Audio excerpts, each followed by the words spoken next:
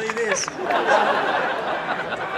Uh, look, you, you've heard all the speeches. I don't think the tote can be saved, but I do think live music in, in Melbourne can not only be saved but can thrive because because of what's going on. Um, I wish you could all come in the pub to, today and tonight. Um, you can't. I I have to tell you, I think the people inside are actually wishing they were outside.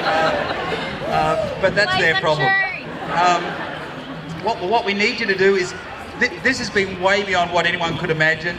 This has had an effect. It's had an incredible effect. What we need to do is safely disperse and. Uh, uh, March down to Parliament! so. Okay.